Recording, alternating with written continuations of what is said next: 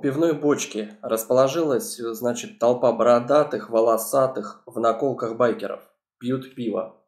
Ну, мимо проносятся мотоциклисты на спортивных байках с огромной скоростью. В одну сторону, потом обратно, и туда, и обратно, и туда, и обратно, и опять, и опять.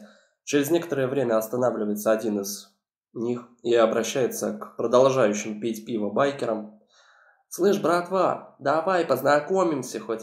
Вы байкеры, мы байкеры, а не общаемся». Один из тех, который пьет пиво, поворачивается, смотрит на него. «А что с вами знакомиться? Вы ж каждый год новые».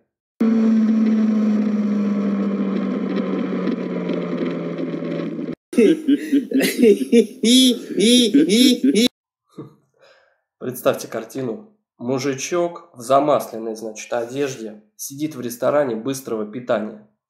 Входят разодетые байкеры из банды «Ангелы смерти». Первый плюет прям в стакан с молоком, стоящим перед мужичком, и садится у стойки.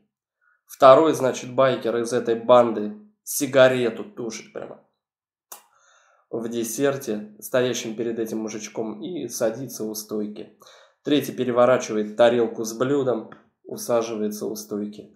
Мужичок этот посмотрел на них, на вот эту всю вакханалию у него на столе, что они сделали, и без единого слова протеста встает и тихо выходит. Через короткое время байкер заявляет официантке, да уж, жалкий мужичонка. Официантка добавляет, и к тому же грузовик свой водить не умеет. Когда сдавал назад, сейчас три мотоцикла раздавил. Сейчас, подождите, это, это, это нормально там.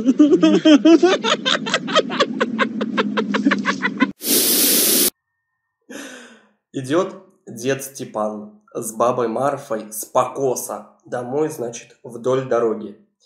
Вдруг их обгоняет мотоциклист без головы.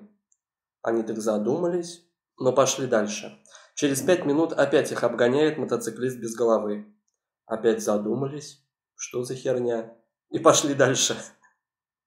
Третий раз их обгоняет мотоциклист без головы. Тут Степан не выдержал и говорит, «Слышь, Марфа, ты бы косу на другое плечо перевесила».